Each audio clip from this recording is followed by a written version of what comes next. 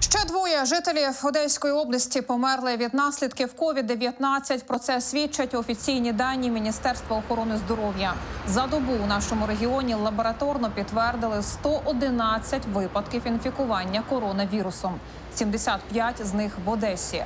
Загалом за добу в Україні зафіксували 890 нових хворих. За період пандемії COVID-19 виявили у більш ніж 143 тисяч мешканців області. 3040 людей померли.